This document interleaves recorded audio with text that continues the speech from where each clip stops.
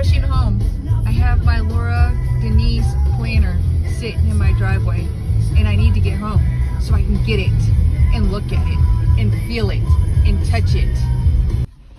Eek, it is here. It is here. My life-changing planner is here. Stay tuned to see what it is and how I'm going to use it in getting my crap together.